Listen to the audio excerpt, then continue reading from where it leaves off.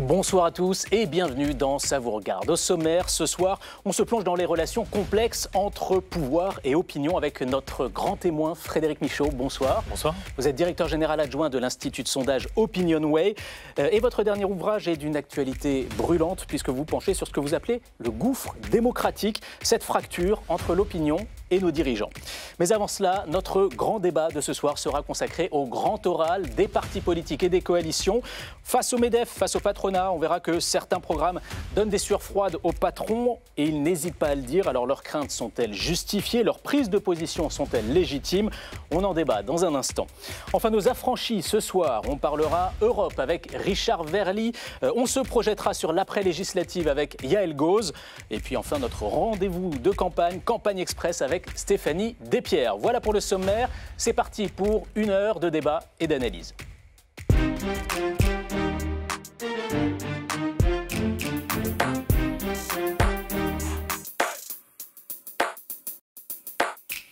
Des mesures inappropriées et dangereuses, ce sont les mots du patron du MEDEF pour qualifier les propositions du Rassemblement national et du nouveau Front populaire.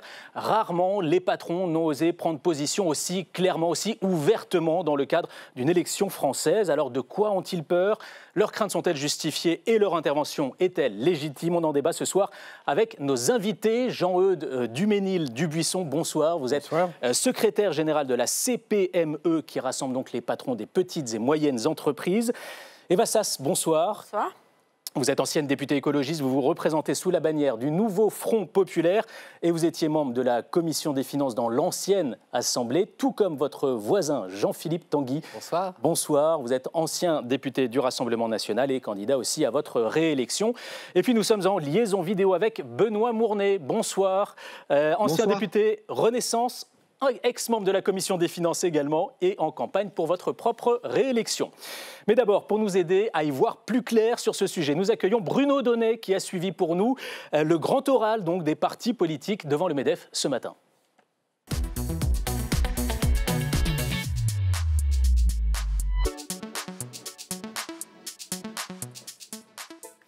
Bonsoir Bruno. Bonsoir Clément. alors dans votre, dans votre récap ce soir, Bruno, une question, le MEDEF a-t-il réussi son coup? Oui, alors pour bien comprendre hein, ce qui s'est passé aujourd'hui Clément, il faut commencer par écouter les tout premiers mots que Jordan Bardella a prononcés en arrivant au MEDEF.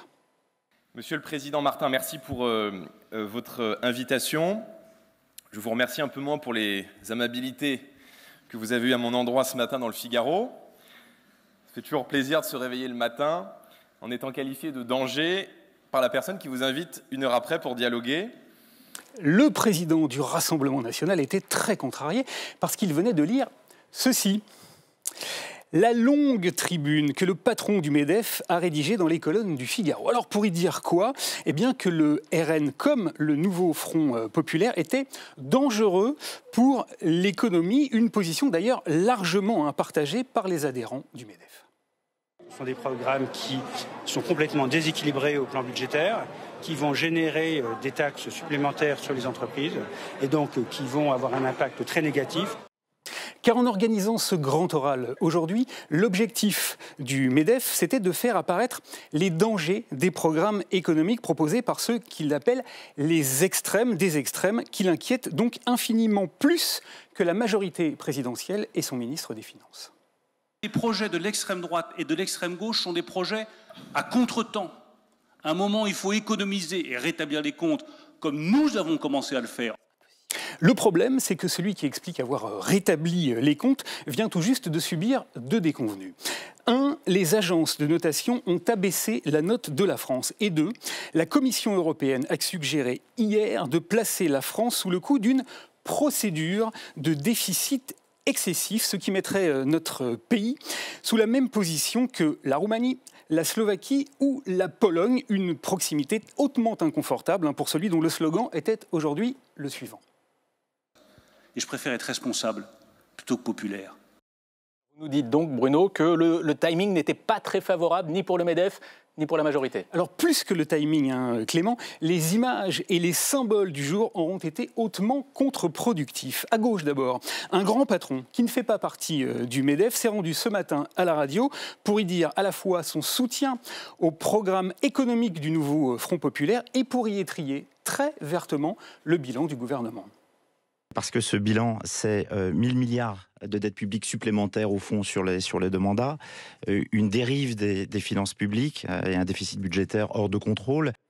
Et puis à droite maintenant, à droite euh, toute, hein, l'image du jour c'était celle-ci. Jordan Bardella et Éric Ciotti réunis sur la même photo pour la toute première fois. Une partie de la droite et l'extrême droite main dans la main, la première acceptant même de faire publiquement allégeance à la seconde. Merci euh, à Jordan Bardella de m'avoir associé à ce temps, à ce temps d'explication, à ce temps de réponse qui est important. Alors ici, hein, en termes d'image, Jordan Bardella porte la même cravate, la même chemise, le même costume que le ministre des Finances. Il est aussi invité dans le même cénacle, sauf que lui n'est plus tout seul. Il est flanqué d'un allié. C'est d'ailleurs la même image hein, pour la gauche. Enfin, si j'ajoute à tout cela que le Financial Times nous apprenait avant-hier que les grands patrons français se pressent désormais pour déjeuner avec les cadres du Rassemblement national, vous conviendrez probablement avec moi, cher Clément, que le MEDEF aujourd'hui n'a pas totalement réussi son opération. Merci à vous, Bruno Donnet, donc. Euh, Jean-Hugues Duménil, euh, la CPME a co-organisé hein, ce, grand oral avec le MEDEF. D'abord, est-ce que vous partagez les inquiétudes exprimées par le président du MEDEF quand il qualifie donc les propositions du RN et du nouveau Front populaire de dangereuses et inappropriées? Alors notre rôle, c'est certainement pas de prendre position et de cibler les uns par rapport aux autres. C'est simplement d'attirer l'attention sur les conséquences budgétaires de certaines mesures et une des idées de ce matin aussi, c'était d'obtenir des réponses et des précisions. Voilà, c'est ça qu'on souhaitait. Mmh. Alors c'est vrai que dans les mesures qui sont proposées par certains partis, effectivement, il peut y avoir des conséquences concrètes extrêmement euh, inquiétantes pour les entreprises. Quand, par exemple, euh, le nouveau Front populaire imagine de passer le SMIC à 1600 euros net mensuel, qu'est-ce que ça veut dire? Ça veut dire qu'on augmente brutalement de 15 les salaires et que vous avez énormément de petites entreprises qui sont tout simplement pas en capacité de supporter une telle augmentation. Donc ça veut dire que les salariés qui pourraient se dire mais après tout si je vote dans ce sens-là, je vais obtenir une augmentation, ça sera une victoire à la Pyrrhus. Parce Donc que pour malheureusement, vous, pas prendre position dans le débat public que de dire cette mesure-là est dangereuse. Mais bien sûr que non. Notre rôle, c'est d'attirer l'attention sur les conséquences des mesures, conséquences concrètes, je le répète. Est-ce que vous ciblez deux programmes spécifiques, comme le fait le MEDEF, celui du Nouveau Front Populaire et du Rassemblement national? Je ne veux pas rentrer dans ces débats-là. Ce que je veux, c'est mesure par mesure. Et effectivement, quand même, puisque vous me le demandez, eh, il est vrai que quand les chiffrages qui circulent sur les différents programmes, sur les dépenses qui peuvent être engagées, celles du nouveau Front populaire, effectivement, nous font encore plus peur quand on parle de 250 milliards d'euros. Alors le chiffrage, il, sera, il sera rendu public demain à la mi-journée. Pour l'instant, effectivement, il faut encore tourner les calculettes. En tout cas, ce sont des chiffres qui circulent. Mais comment voulez-vous payer ce genre de choses? Quand on parle de, du passage à 32 heures, comme on fait dans les entreprises, imaginez un même salarié qui verrait son salaire au SMIC passer à 1600 euros net et en même temps, il travaille à 32 heures au lieu de 35 heures. Mais ça veut dire une augmentation de 25% d'un seul coup qui peut imaginer. Ben, ça, se répondait lui parce que c'est là c'est vous, enfin vous, votre mouvement, votre alliance qui est qui est pointée du doigt euh, directement. D'abord, vous avez raison d'alerter et nous nous serons toujours dans le dialogue. Nous le serons d'ores et déjà. Le, le nouveau Front populaire, c'est le débat et ça sera le débat avec la société civile. Donc, évidemment, on prend en compte le fait que certaines entreprises peuvent être fragilisées, mais je voudrais quand même attirer l'attention sur une chose. D'abord, euh, l'augmentation du SMIC et l'augmentation du pouvoir d'achat en général, c'est bon pour l'économie et pour un certain nombre d'entreprises. Ça va au contraire créer des débouchés et c'est donc positif pour le chiffre d'affaires de la plupart des entreprises. Ensuite, elles ont intérêt aussi à ce qu'il y a de la commande publique. Vous verrez que dans notre programme, il y a des euh, programmes importants, par exemple de financement de la transition écologique, de programmes de rénovation thermique, de rénovation des écoles. Tout ça, ça remplit le carnet de commandes des entreprises. Et donc ça aussi, c'est bon pour l'économie et c'est un effet d'entraînement. Après, j'entends que certaines entreprises sont trop fragiles pour absorber l'augmentation euh, du SMIC d'un coup, effectivement, c'est 14-15%, vous avez tout à fait euh, raison, mais c'est pour ça que nous disons clairement, nous les aiderons. Et nous, avons prévu, effectivement, soit euh, de faire du crédit à taux zéro, parce que les frais bancaires, c'est un sujet pour les PME, soit d'avoir un fonds de soutien temporaire pour les, les TPE-PME, parce qu'on est très conscient, effectivement, qu'il ne faut pas que ça ait des conséquences sur les défaillances d'entreprise, et on sera à vos côtés de ce côté-là. Euh, Jean-Philippe Tanguy, euh, ça vous agace de voir comme ça euh, le patronat distribuer bons points, mauvais points, même s'ils se défendent de prendre position pour ou contre Bon, moi, ça ne m'agace pas que ce soit le patronat, c'est pas le patronat qui prend position, c'est Monsieur Martin et surtout, moi, je l'ai interrogé d'ailleurs publiquement. Ça veut dire il faut faire quoi? Il faut continuer avec 50 ans de déficit perpétuel? Ça fait 50 ans cette année pile poil que tous les gouvernements soi-disant sérieux ont ruiné notre pays chaque année sans aucun changement de ligne politique. C'est continuer la désindustrialisation parce que quand on dit qu'on a réindustrialisé le pays, ce n'est pas vrai. La valeur ajoutée industrielle est toujours plus basse que avant l'arrivée euh, de M. Macron. On a recréé 400 usines, mais ça ne veut rien dire, on en a perdu 20 000. Et créer une usine, si vous euh, ouvrez une usine de 10 emplois et qu'avant euh, avant il y en avait une de 1000 qui avait été fermée, ce genre de comparaison n'a aucun intérêt. C'est évidemment la valeur ajoutée industrielle qui compte dans une économie sérieuse. Est-ce qu'on va continuer avec les records d'impôts? Parce que M. Macron, c'est trois records successifs de prélèvements obligatoires dans toute l'histoire de la République. C'est des records de dépenses publiques de plus de 55-57% du PIB, 10 points de plus que les recettes publiques.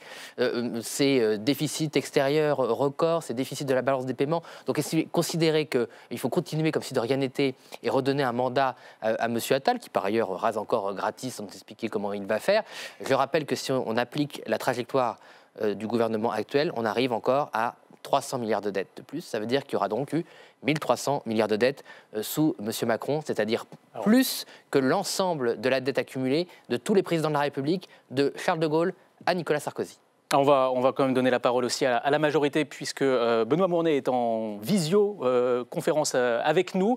globalement, on peut dire que le patronat plébiscite hein, ce qu'on appelle la politique de l'offre, et c'est en grande partie la politique économique que vous avez menée en France depuis 2017. Euh, or, d'un point de vue purement électoral, ça ne vous a pas forcément réussi. Est-ce qu'à trop vouloir aider les entreprises, vous n'avez pas un peu oublié les Français?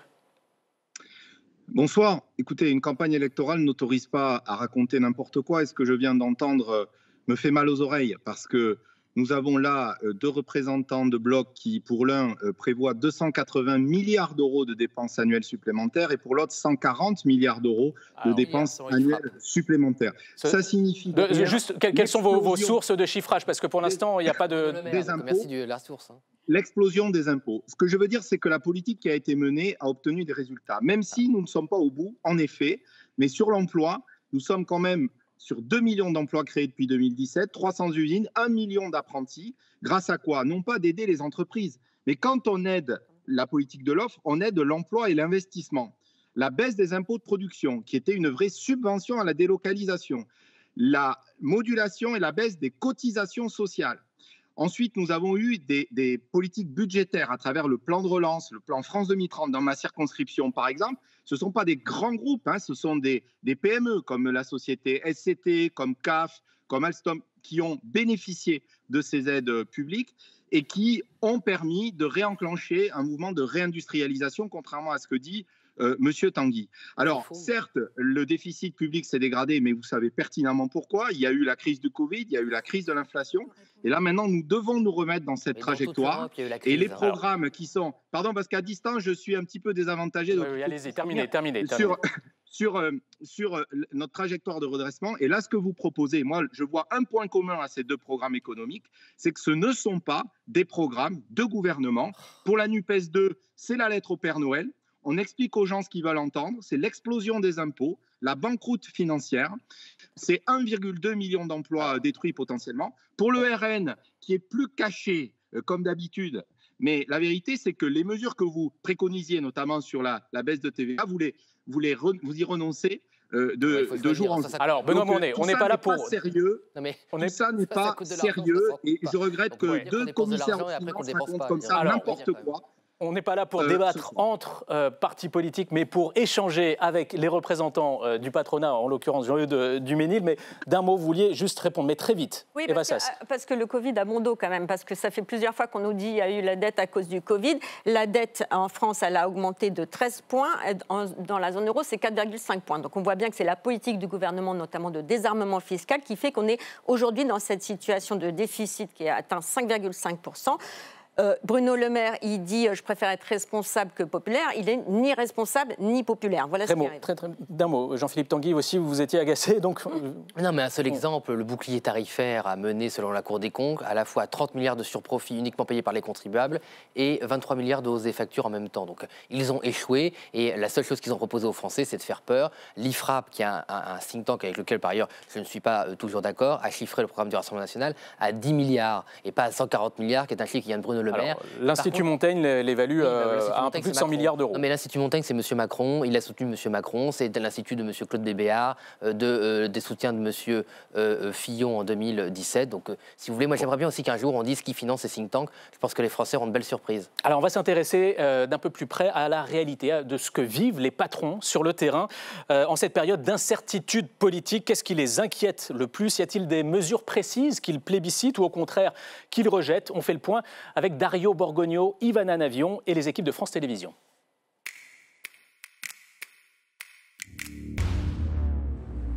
Face à l'instabilité politique, ce patron d'une PME spécialisée dans l'import-export de pièces mécaniques a pris des mesures drastiques.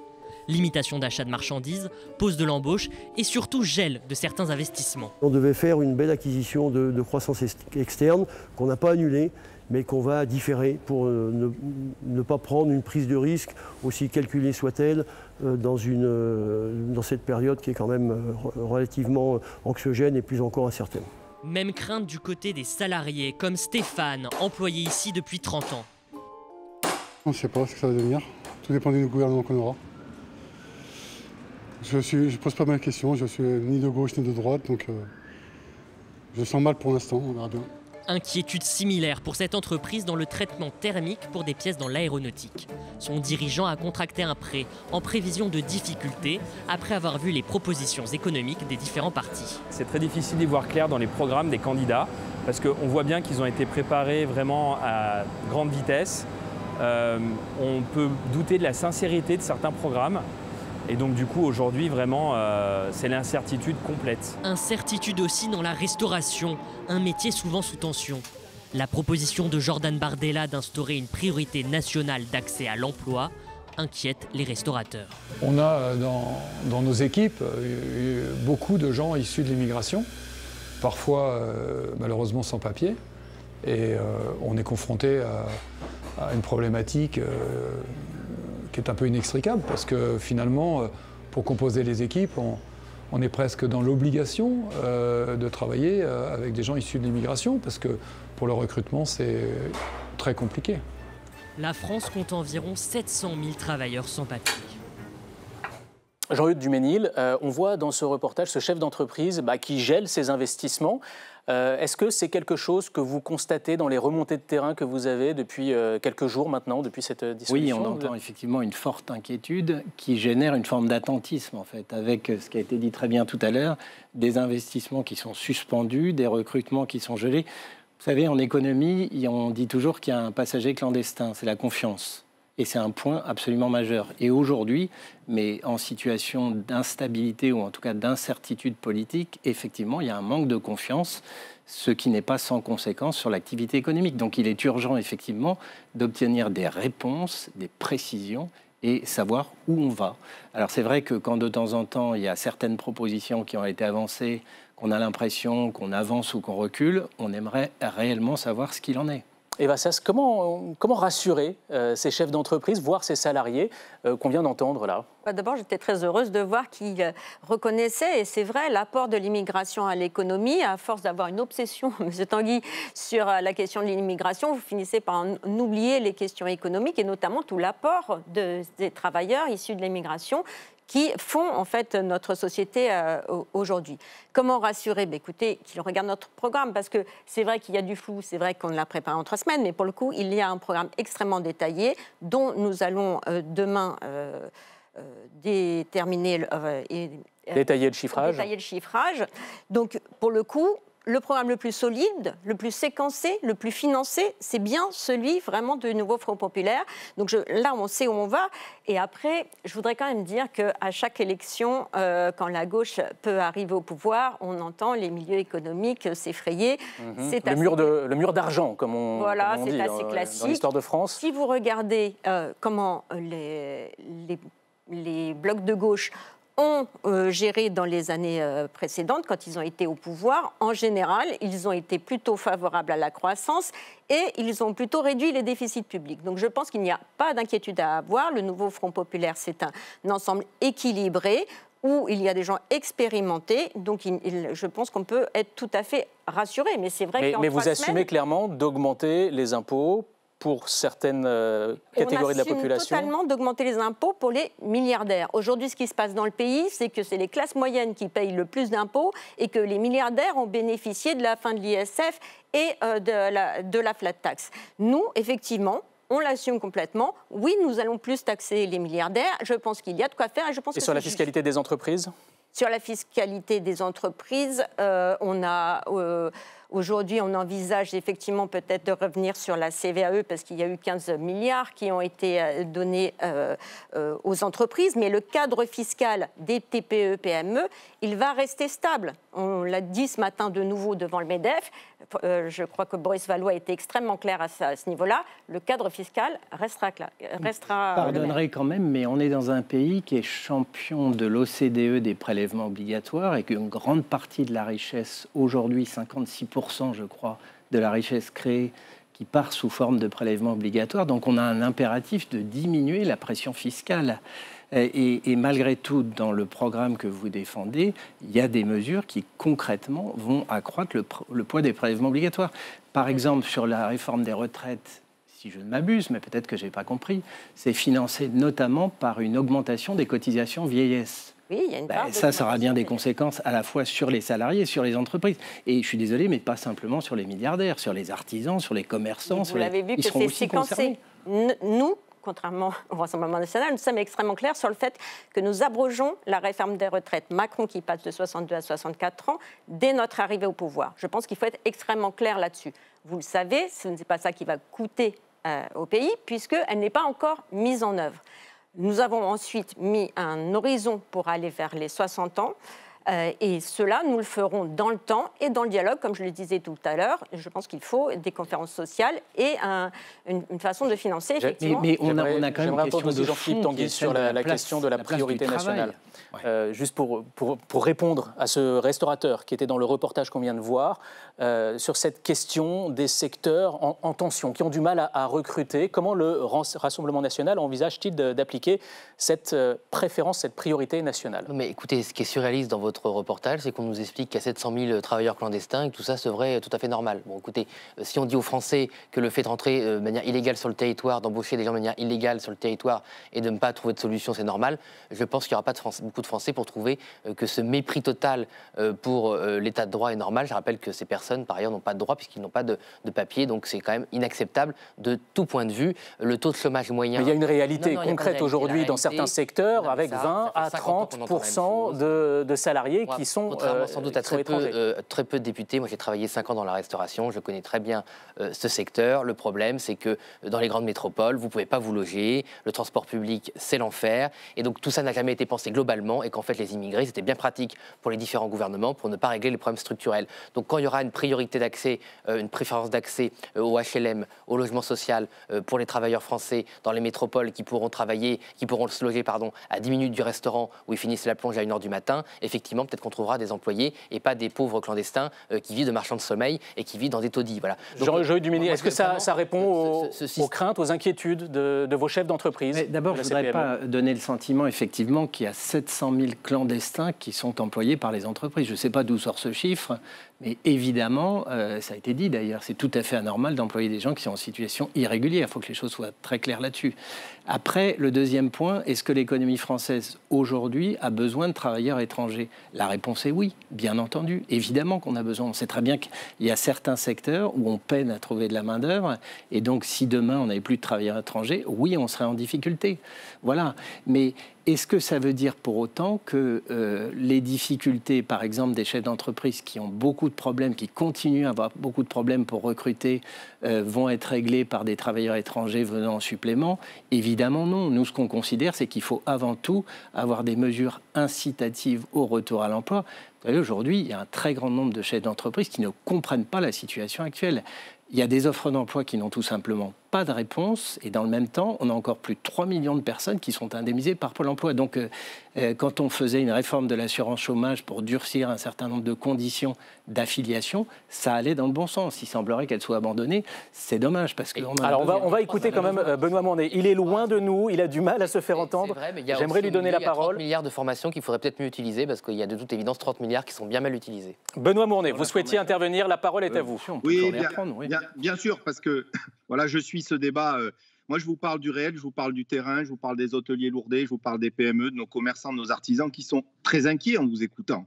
En réalité, euh, Madame Sass, parce que vous faites croire que en rétablissant l'ISF 4 milliards d'euros, vous allez financer 280. En réalité, c'est le matraquage fiscal généralisé pour tout le monde. C'est l'augmentation des cotisations sociales. Donc, c'est des destructions d'emplois. Votre programme, c'est moins de revenus et plus d'impôts.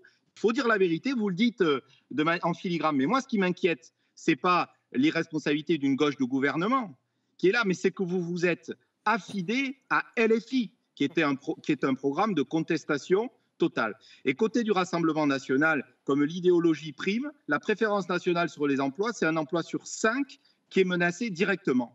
L'aide à domicile et le service à la personne. L'hôtellerie-restauration. Eh bien, comment vous faites du jour au lendemain? Donc, il y a un moment donné, il faut qu'on soit concret pour les gens. On parle de la vie des gens, on parle de l'emploi des gens, on parle du pouvoir d'achat. Nous autres, qu'est-ce qu'on veut faire? Effectivement, on ne trouve pas ça normal qu'un chef d'entreprise qui va augmenter de, de, 400, de, 100 euros, de 400 euros son salarié, euh, eh bien, ça lui coûte en fait de, ça lui coûte 400, 300 euros de charge et 100 euros de salaire net. Donc, on veut pouvoir donner du salaire net. Donc, déplafonner les primes et les heures euh, euh, supplémentaires défiscalisées. et nous avons un énorme chantier de simplification. Et ça, des agriculteurs aux chefs d'entreprise, tout le monde nous le dit. D'ailleurs, il faut dire aux gens que le 17 juin, on avait un texte à l'Assemblée là-dessus sur la suppression des CERFA, une plateforme unique pour euh, les marchés publics. Tout ça est attendu des chefs d'entreprise. Mais faire croire aux gens qu'en fermant les frontières, on augmente le commerce, ou en rétablissant les impôts de production qui sont des subventions à la délocalisation, en fait, vous mentez aux gens. Voilà, donc simplement, moi je vous parle du terrain, je vous parle des commerçants, des artisans, des chefs d'entreprise qui voient ce débat idéologique, hein. qui voient ce débat idéologique avec beaucoup de, de, de perplexité, si vous me permettez. Je me tourne vers vous, Frédéric Michaud, pour avoir un peu le, regard du spécialiste euh, d'études d'opinion, euh, Opinion Way en, l'occurrence. Euh, comment les Français jugent la, crédibilité des différents programmes qui, sont proposés aujourd'hui? Alors, c'est une question de perception de la crédibilité des, programmes économiques et, et les réponses sont sans appel. Quelle que soit la formation politique testée, une majorité de Français considèrent que le programme qu'elle défend n'est pas crédible et euh, dans des majorités qui sont larges. Le programme le plus crédible, c'est celui du Rassemblement national, juste devant celui du Parti socialiste et des Républicains. Et puis en bas de tableau, c'est le programme économique de la France insoumise et celui de Reconquête qui sont euh, jugés par la plus large majorité comme étant non crédibles. Alors pour asseoir un peu la crédibilité euh, du programme du Rassemblement national. Euh, on a vu Jordan Bardella assumer ce matin d'être là pour rassurer les patrons. Euh, est-ce que c'est pour ça que vous avez repoussé à, plus tard plusieurs mesures fortes pour le pouvoir d'achat des Français? Je pense à la suppression de la, TVA sur les, produits de première nécessité. je crois que la suppression de l'impôt sur le revenu pour les moins de 30 ans est repoussée à plus tard également. la hausse des salaires des enseignants également. C'est la raison? C'est la raison pour laquelle vous, vous y renoncez provisoirement? la, raison, c'est rassurer les patrons, mais c'est rassurer les Français. Un programme de gouvernement ne se fait pas en une semaine pendant les JO en arrivant au mois de juillet, avec une session extraordinaire que le président de la République n'est même pas euh, forcé de convoquer, même si les parlementaires euh, lui demandent. mais ce sont des, mesures qui sont dans le programme de Marine Le Pen depuis la, dernière présidentielle. Sauf qu'il n'a jamais été dit par Marine Le Pen. Ça veut dire que vous n'êtes jamais projeté dans le fait d'être euh, au gouvernement? Vous êtes là ce soir, je vous remercie de votre invitation, mais ça fait quand même dix jours que les journalistes racontent sincèrement n'importe quoi. Il est normal de présenter un calendrier de gouvernement euh, qui ne tienne pas pour trois ans en une semaine, de la même manière que le programme de Marine Le Pen tenait pour un quinquennat. Et donc, euh, si Marine Le Pen était arrivée au pouvoir en 2022, elle aurait aussi eu un, calendrier de gouvernement qui n'aurait pas mis tout en place euh, en, juillet 2022, euh, de la même manière que M. Macron n'a pas mis tout en place en juillet 2022. Tout cela est ridicule. Donc il y a deux temps de ce calendrier qui est annoncé aux Français. Un temps des urgences où on peut passer en session extraordinaire la baisse de la TVA sur les énergies de 20 à 5,5 pour redonner 16 milliards de pouvoir d'achat aux classes moyennes et aux classes populaires. Un certain nombre de mesures sur l'immigration et la sécurité. Et ensuite, nous allons lancer un grand audit qui associe euh, la Cour des comptes, l'inspection générale des finances, des universitaires, des économistes pour soulever le capot des finances publiques puisqu'on ne comprend plus ce qu'il se passe sur la structure du déficit de l'État et de la sécurité sociale.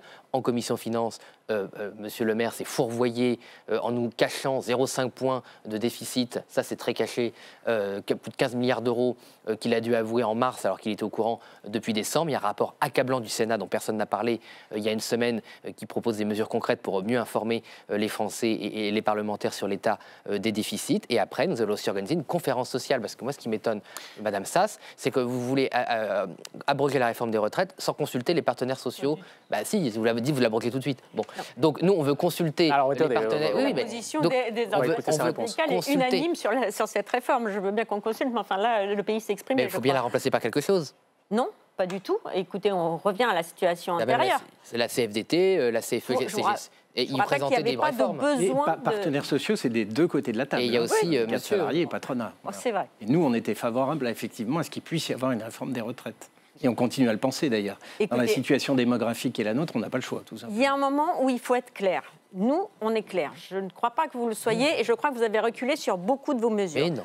Nos priorités, c'est le pouvoir d'achat, les services publics et effectivement l'abrogation de, la réforme des retraites. Je crois que le pays s'est largement exprimé euh, dans ce sens. Et oui, effectivement, nous augmenterons le SMIC, nous augmenterons les APL et nous augmenterons euh, le point d'indice. Et oui, cela aura un coût, mais ce, tout cela... Un point de point d'indice, c'est 2 milliards. Hein. Alors, le, débat touche à sa fin. Peut-être juste un, dernier mot pour Benoît Mournet qui a eu un peu moins la parole dans, cet échange, dans ce débat. Euh, comment... comment... Alors, on, vient de vous perdre à l'image. Je voulais parler des retraités. Non, je veux parler d'un mot des retraités. On a fait une réforme très difficile et, très impopulaire, grâce à laquelle on a pu indexer les retraites sur l'inflation, 5% au 1er janvier, et on s'engage à continuer à le faire.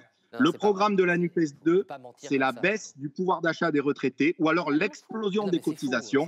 Quant au Rassemblement national, il faudra qu'ils nous expliquent finalement s'ils sont pour ou contre le retour à la retraite à 62 ans parce qu'on n'a pas bien compris. Alors, ce sera le mot de la fin. Merci, à, merci à tous d'être venus. Le débat s'arrête là. Jean-Philippe Tanguy, je suis désolé. De, on ne peut pas dire des choses fausses aussi fausses, mais ça c'est d'accord avec moi. L'indexation des retraites a toujours été dans la loi et quand ils n'indexent pas, ils enfreignent la loi. C'est pas l'inverse quand même. Respecter la loi, c'est la moindre des choses pour un gouvernement. Et moi je serais content de revenir vous voir, non pas pour parler du chiffrage des mesures supplémentaires, mais pour parler de la manière dont on va s'attaquer au déficit. Parce que je vous rappelle qu'on a 3 200 eh ben, milliards d'euros de déficit et, et ce n'est pas de mesures supplémentaires. On l'évoquera, on l'évoquera très certainement. Merci, merci à tous les trois d'être venus sur le, plateau d'LCP. Merci à Benoît Mournet d'avoir été avec nous en, visioconférence. Frédéric Michaud, euh, vous restez avec nous. Euh, je rappelle que vous êtes donc directeur adjoint de l'Institut euh, de sondage OpinionWay. Votre dernier livre apporte un, un éclairage un peu sur les causes de ce grand bouleversement politique auquel on assiste actuellement, cette fracture entre les Français et leurs dirigeants.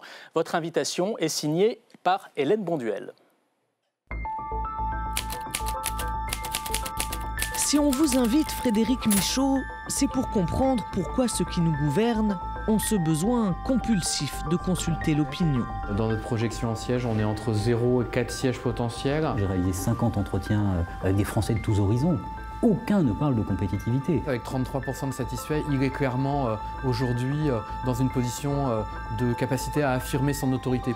Alors que d'élection en élection, les sondages se multiplient, Trois quarts des Français considèrent les élus déconnectés des réalités concrètes des citoyens, et ça ne date pas d'hier. On voit bien cette attente de, proximité, cette attente d'écoute très très forte qui est exprimée par les Français.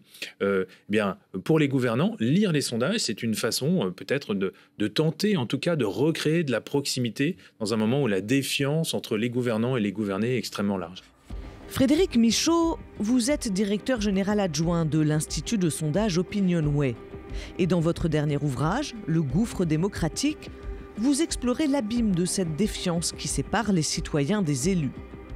Les résultats des sondages donnent des indications précises sur l'état de la société, sur ses attentes vis-à-vis des politiques, comme la réforme des retraites dont deux tiers des Français ne voulaient pas, ou encore le référendum sur l'immigration souhaité par 7 Français sur 10 et qui n'a jamais vu le jour.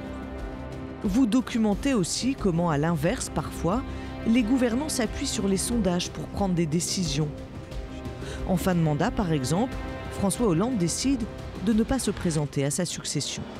Il y avait une forme euh, finalement de nasse que nous avions enfermée sur lui entre la perspective d'une primaire à laquelle il ne pourrait échapper et la perspective de son âge le nonant battu, ce qui est une forme euh, d'humiliation pour un président de la République sortant. Il en a conclu qu'il ne serait pas candidat. Alors nous avons une question pour vous. L'opinion publique n'a jamais autant été consultée et pourtant elle ne se sent pas entendue. Comment expliquer ce paradoxe? Alors on va commencer par ce paradoxe évoqué par Hélène Bonduel. Hein. Comment, comment l'expliquer? Alors, bah, c'est toute la question euh, à laquelle tente de répondre euh, mon livre. Effectivement, l'opinion publique n'a jamais été autant scrutée, autant disséquée. On n'a jamais eu autant de, données à disposition euh, en continu sur l'état de l'opinion publique, pas uniquement en période électorale, mais d'une manière générale. Et pourtant, quand on interroge les Français, eh bien, ce qu'ils nous restituent, c'est un sentiment de, déconnexion de la part des, élus qui sont censés les, les représenter, et même un, sentiment d'abandon. Et, donc là, il y a quelque chose de, très paradoxal, en, forme de, dialogue de sourds. oui, ça veut dire quoi? Ça veut dire que nos gouvernants utilisent mal, font un mauvais usage des sondages? Alors, je pense qu'il y a un usage des sondages qui est peut-être beaucoup trop défensif euh, et, pas assez euh, constructif. Je pense que euh, la plupart des gouvernants, pas tous évidemment, il ne faut pas généraliser, mais la plupart des gouvernants n'ont pas une vision réelle de ce qu'est l'opinion publique. Soit ils la craignent, c'est-à-dire qu'ils considèrent que c'est une autorité surplombante qui est capable d'arrêter leur, leur, programme, de contrecarrer leur politique, et c'est en partie vrai. Soit au contraire, au contraire ils considèrent que c'est une sorte de, de, de masse indocile, incohérente, inconsistante et même incompétente et que par conséquent, ils n'ont pas à en tenir compte. Et en réalité, euh, ils ne parviennent pas à trouver un juste équilibre entre ces deux perceptions, c'est-à-dire à considérer l'opinion publique de façon rationnelle comme un partenaire du pouvoir avec lequel il faut dialoguer en permanence. Alors, vous estimez que les sondages ont un rôle démocratique à jouer. Qu'est-ce que vous entendez par là? Oui, absolument. Les sondages jouent un rôle euh, démocratique puisqu'ils euh, sont censés porter les attentes de la population, des citoyens, aux euh, dirigeants. Alors, libre ensuite aux dirigeants d'en tenir compte ou pas, mais quand on observe, quand on lit la, théorie des sondages chez les premiers sondeurs aux États-Unis il y a bientôt un siècle, hein, dans les années 30, eh bien, il y avait vraiment une volonté démocratique de porter la parole des citoyens aux gouvernants pour, qu'ils élaborent des politiques publiques qui soient plus fiables, plus efficaces et plus en adéquation avec les souhaits de, de la population. Mais est-ce est à dire qu'ils doivent servir presque de contre-pouvoir démocratique euh, pour rappeler aux dirigeants bah, qu'ils ont des comptes à rendre aux Français? Oui, absolument. Je pense que ce sont des, contre-pouvoirs. Alors, ils ne sont pas institutionnalisés. C'est ce qu'on appelle la démocratie d'opinion.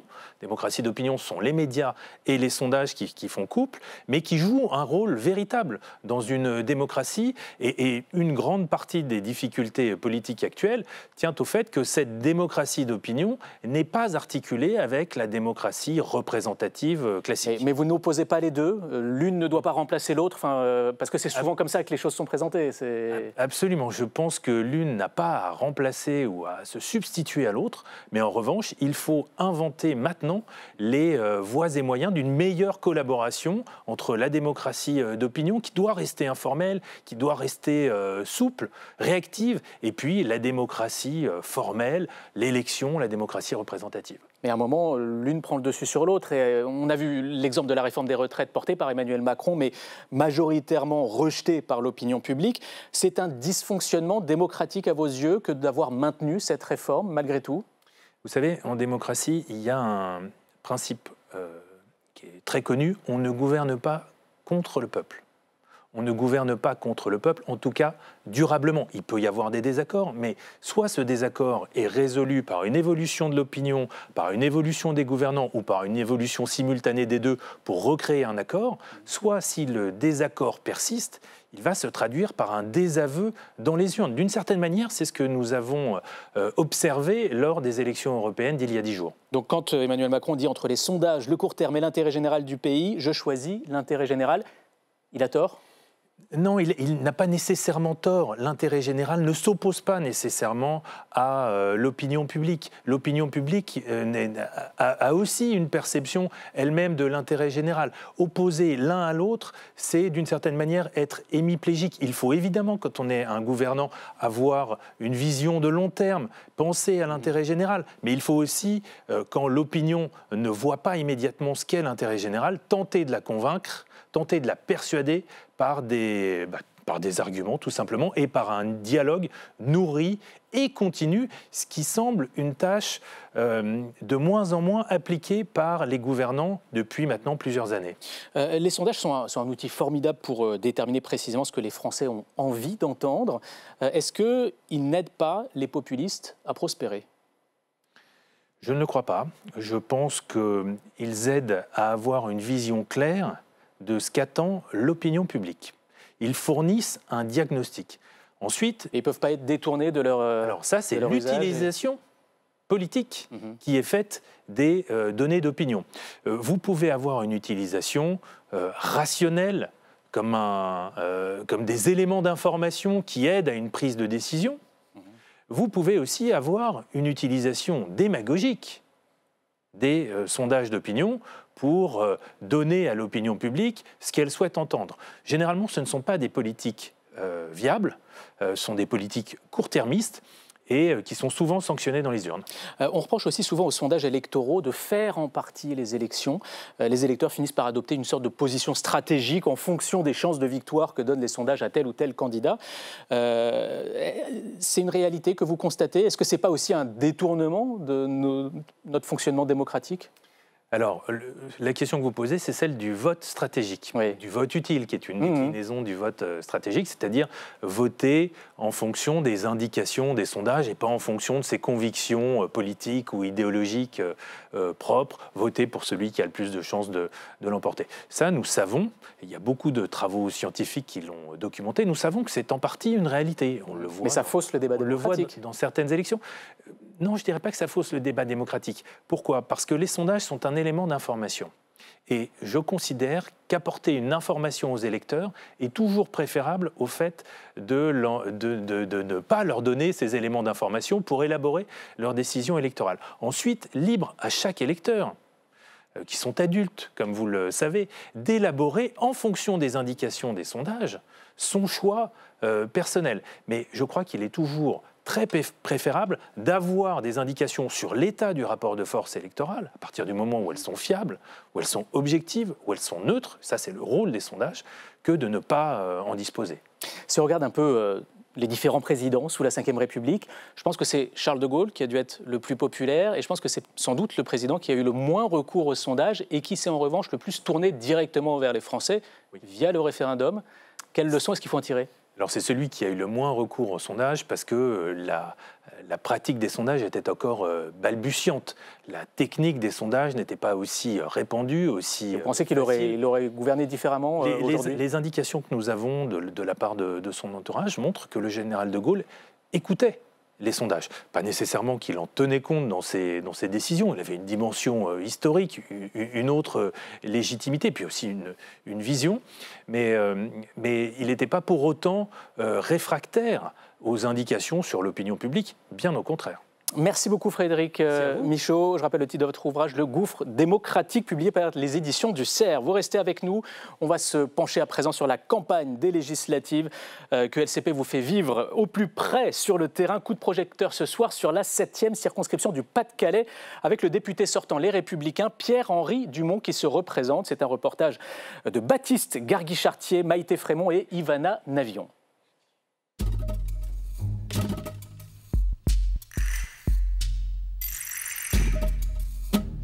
Je compte sur vous le 30 juin. Hein. Oui, oui, oui, Votez bon, votez du Mans.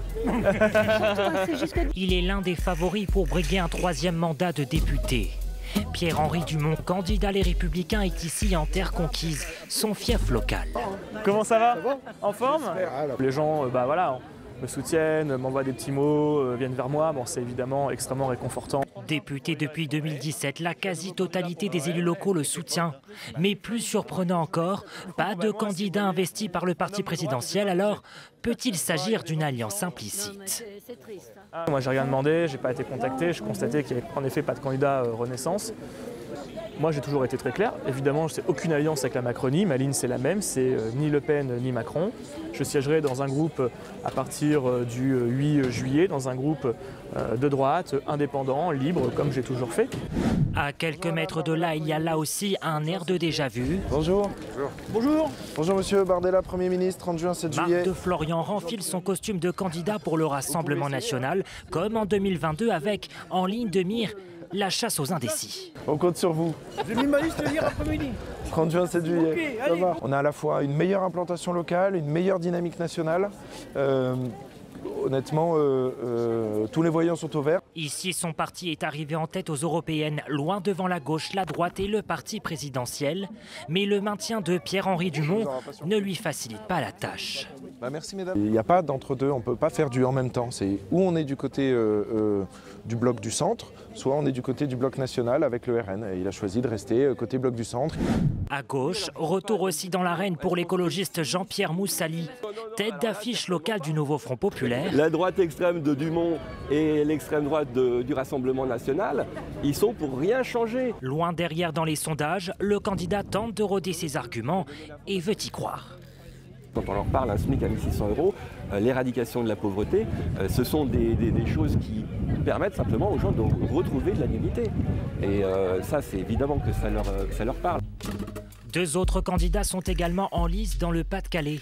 Jérôme Judec pour Reconquête et Olivier Carreau pour la lutte ouvrière. Frédéric Michaud, est-ce que vous avez mesuré dans l'opinion si les électeurs de la majorité sont prêts à suivre cette démarche d'arc républicain? Alors ça dépendra évidemment des résultats du, euh, du premier tour, mais on voit que les désistements sont peut-être plus faciles euh, vers des candidats euh, qui, appartiennent à des partis de gouvernement, Parti socialiste, les républicains, que évidemment vers d'autres composantes du Front populaire.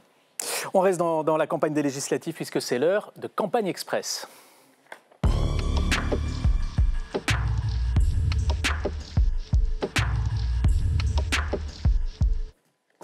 Bonsoir Stéphanie Bonsoir. Despierres. Alors on commence avec la conférence de Gabriel Attal qui euh, ce matin présentait le programme d'ensemble, le camp présidentiel. Alors c'était plutôt un appel au barrage contre les extrêmes plutôt qu'un véritable programme. Il n'y a pas vraiment de propositions euh, nouvelles dans cette campagne très compliquée pour les troupes d'Emmanuel Macron. Gabriel Attal cherche d'abord à mobiliser les Français. Il a appelé à ne pas disperser les voix au premier tour. Il défend le vote utile contre les extrêmes. Et thème par thème, il a méthodiquement comparé ses propositions à celles du nouveau Front populaire et du RN. Gabriel Attal les accuse tous d'attiser les divisions, de conduire à la ruine du pays. Alors ce qu'on a remarqué aussi ce matin au quartier général de Renaissance, c'est qu'il n'y avait aucune image du président Emmanuel Macron, ni dans le clip de campagne, ni dans le document programmatique distribué ensuite. On ne voit que Gabriel Attal qui cultive sa différence. Ses jours à Matignon semblaient compter. Pourtant, ce matin, il a affiché clairement son envie de rester. C'est la première fois depuis plus de 25 ans que les Français vont choisir un Premier ministre. Évidemment qu'il y aura un avant et un après. Le 9 janvier, le président de la République m'a nommé. Le 30 juin, j'aimerais que les Français me choisissent. On passe à présent à cette alliance LR-RN euh, qui sème toujours la confusion à droite avec des règlements de compte qui continuent. Dans une interview au Figaro ce matin, Éric Ciotti euh, fustige l'autre frange des Républicains qu'il accuse de s'être entendu avec le camp présidentiel en catimini. Selon lui, la moitié des députés sortants, les Républicains, n'auront pas d'adversaire du camp présidentiel. Il dit donc depuis quelques jours, les masques tombent. Certains poursuivaient leur alliance secrète avec la Macronie en me stigmatisant avec violence. Alors la réplique n'a pas tardé par la voix d'Édouard Philippe en visite de soutien à un candidat euh, ensemble dans les Hauts-de-Seine. Je pense qu'il est le, le champion du monde des alliances secrètes. Dans les Hauts-de-Seine, rien n'est secret. Il y a un accord qui a été signé. Ça n'a rien de secret. Il y a un accord qui a été signé avec des candidats qui ont considéré que dans le bloc central, il était important de proposer des alternatives crédibles dans chaque circonscription. Alors, euh, l'état-major d'ensemble réaffirme qu'il n'y a pas d'accord global avec les républicains anti-Ciotti, seulement parfois des accords locaux, on l'a vu, comme là dans le 92, mais aussi en Savoie, par exemple. La ministre Modem, Marina Ferrari, n'a pas d'adversaire LR. En échange, les LR du département, euh, fidèles à la ligne historique du parti, n'ont pas de concurrents ensemble. Et le camp présidentiel explique aussi qu'il a choisi parfois de manière unilatérale de ne pas mettre de candidats dans les circonscriptions des sortants les républicains où le risque RN est trop grand, là où il a frôlé euh, les 50% aux européennes. Bon courage en tout cas aux électeurs pour s'y retrouver dans toutes ces nuances de droite et de les républicains. Même nous, on a quand même un peu de mal à suivre. Enfin, on termine par cette décision du Conseil constitutionnel qui était très attendue à 10 jours du premier tour. Oui, le Conseil constitutionnel a donné un premier feu vert à l'organisation des législatives des 30 juin et 7 juillet. Ce n'est pas une surprise, mais plusieurs recours avaient été déposés contre le décret de convocation à des élections. Les plaignants estimaient euh, notamment que les délais étaient trop courts pour organiser un scrutin, qu'ils ne respectaient pas le code électoral. Eh bien, il n'y a pas de problème, viennent de dire les sages. La Constitution prévaut sur tout le reste, mais ils ont encore quelques requêtes à étudier avant un fait vert complet et définitif. Merci beaucoup Stéphanie Despierres et maintenant place à nos affranchis.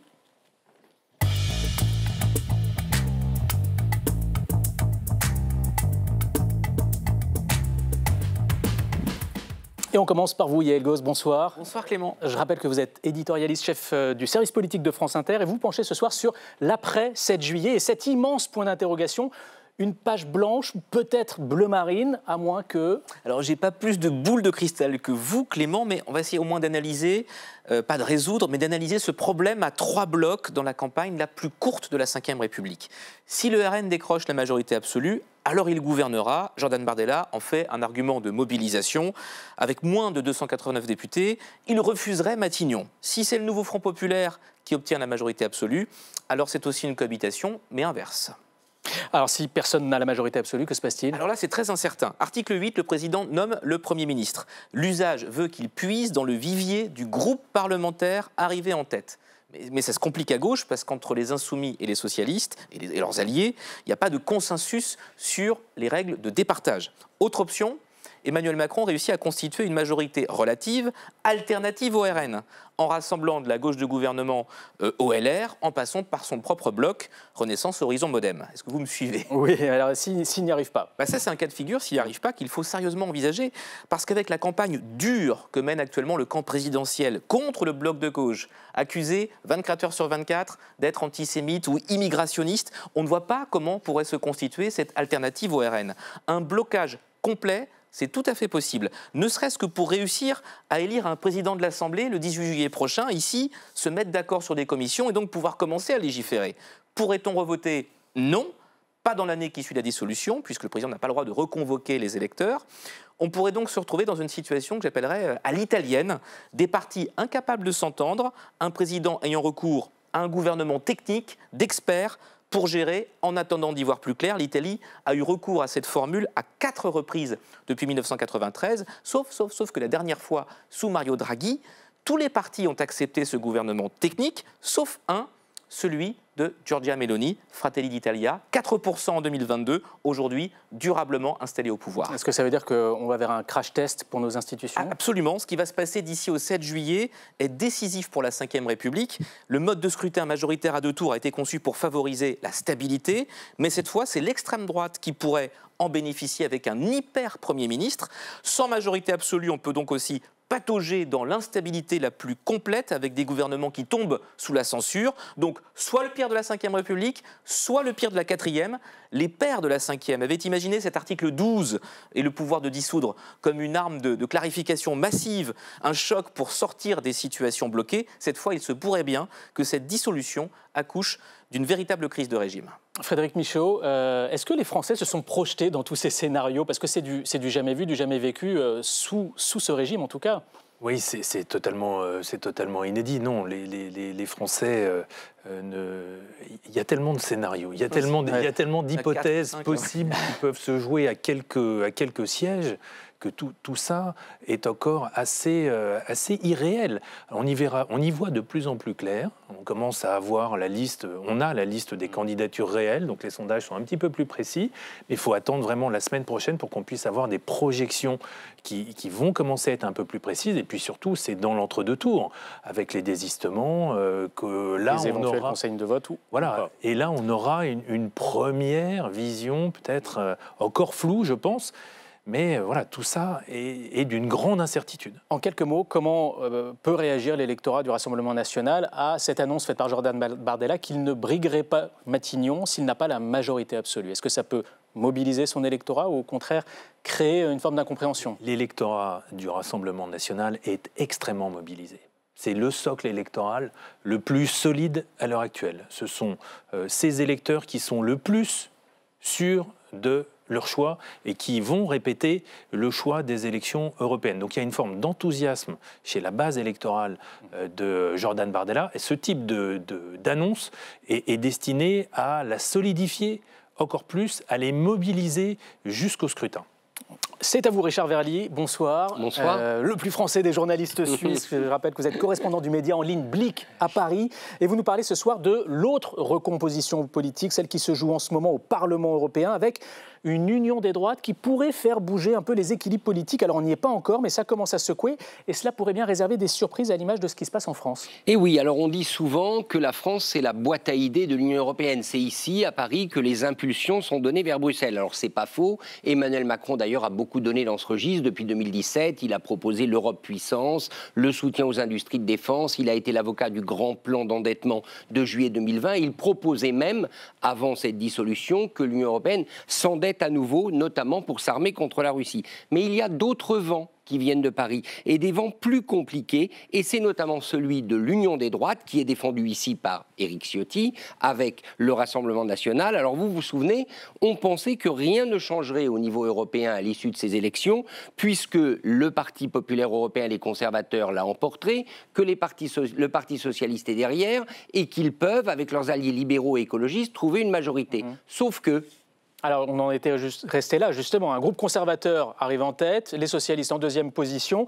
Qu'est-ce qui s'est passé donc depuis ces élections du 9 juin? Eh bien, il y a eu un dîner et visiblement, certains plats ne sont pas bien passés parce que le premier dîner des chefs d'État ou de gouvernement des 27, il a eu lieu ce lundi. Il était question de se répartir les fameux top jobs, c'est-à-dire le président de la Commission européenne, le président du Conseil européen qui représente les États membres et la haute représentante ou le haut représentant pour les affaires étrangères. Et tout le monde pensait que Ursula von der Leyen allait s'en sortir quasi nommée avant le sommet des 27 et 28 juin prochains, juste à la veille législative. Eh bien, ça ne s'est pas passé comme ça, parce que les socialistes à qui on proposait, semble-t-il, le poste de président du Conseil avec Antonio Costa, l'ancien Premier ministre socialiste portugais, ils ont un peu renaclé et le dîner s'est achevé sans décision. Alors, l'entente doit mijoter, a expliqué Emmanuel Macron, qui désormais est un peu le mijoteur en chef en ce moment. Mais pour l'excellente newsletter La Matinale Européenne, voilà ce qu'ils écrivent. La prolongation des négociations sur les top jobs est le symptôme d'un problème qui s'enracine de plus plus en plus dans l'UE, le niveau de polarisation entre les forces pro-européennes s'est accru et par conséquent les tensions au sein de la majorité entre le Parti populaire européen, les socialistes et les libéraux. N'oublions pas un fait important, il y a un des groupes d'extrême droite l'ECR, les conservateurs réformistes, celui de Mme Mélanie, qui vient de passer devant les libéraux pro-Macron en termes d'eurodéputés, grâce au ralliement de Marion Maréchal et des siens. Ils ont désormais 83 eurodéputés. Le camp Macron n'en a plus 81. Or, Mme Mélanie et Mme van der Leyen, on le sait maintenant, elles s'entendent fort bien. Et derrière, il y a des industriels italiens et allemands qui, après tout, se disent qu'une Europe moins écologique, plus économique, plus industriel, ce serait peut-être pas une mauvaise nouvelle. Vous voyez ce que ça peut imaginer. C'est l'union des droites à la française et peut-être en train de faire une victime en Europe, la France. Merci à vous, Richard Verly. D'un mot, Frédéric Michaud, est-ce que euh, toutes ces questions, de, notamment la place de la France dans l'Union européenne, le rôle qu'elle peut jouer dans la construction européenne, sont des choses qui reviennent euh, encore dans le débat des législatives où les Français sont vraiment passés à du franco-français? Alors, traditionnellement, ces questions-là, la place de la France, la francophonie, sont plutôt en bas de tableau dans la liste des, enjeux qui comptent le plus au moment des Français pour aller voter. Là, ce qu'on mesure actuellement, c'est que la question du pouvoir d'achat n'a jamais été aussi forte. Mm. C'est l'inquiétude fondamentale des Français, hein, c'est l'enjeu numéro un. En deuxième position, vous avez la question de la hausse des prix, c'est-à-dire c'est la même question, hein. l'inflation, la hausse des prix, la question du pouvoir d'achat. Et, ensuite, mais un tout petit peu derrière, la question, le couple sécurité, immigration. Merci à vous, Frédéric Michaud. Je rappelle votre, euh, le titre de votre livre, Le gouffre démocratique, les gouvernants et l'opinion. Et merci à nos affranchis de ce soir, ainsi qu'à Stéphanie Despierres. La campagne des législatives bat son plein. LCP reste mobilisée pour vous la faire vivre au quotidien. Avec un nouvel épisode demain, ce sera Myriam Ankawa aux commandes. Bonne soirée à tous à l'écoute d'LCP.